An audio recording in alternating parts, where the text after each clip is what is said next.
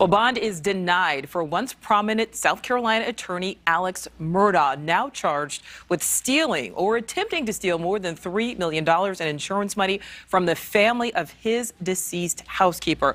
NewsNation correspondent Janelle Forge is live with us with more on this story. So, Janelle, um, his mental health played a role in the judge's decision today.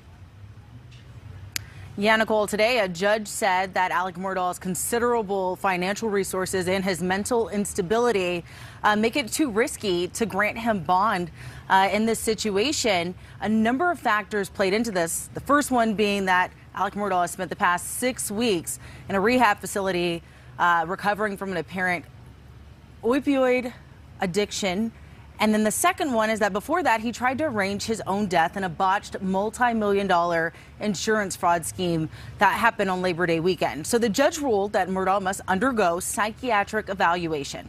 The judge told the court he'll circle back and reconsider his decision to deny bond based on whatever information comes from that.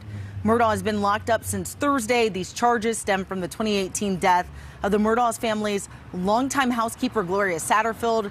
The Murdaugh family told Satterfield's sons their mother tripped and fell at their home. Satterfield was hospitalized and died weeks later. But the death, oddly, was never reported to the Hampton County coroner, and the death certificate falsely labels the cause of death as natural.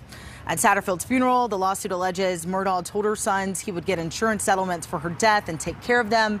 He managed to secure more than $4 million from his insurers over the incident. But the attorneys for the family say that the family never saw a dime of that money.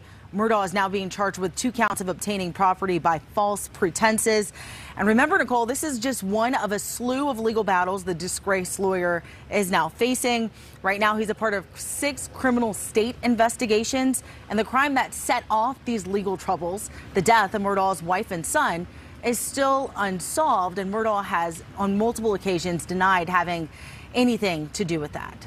Yeah, the saga certainly continues here. Janelle, thank you for that.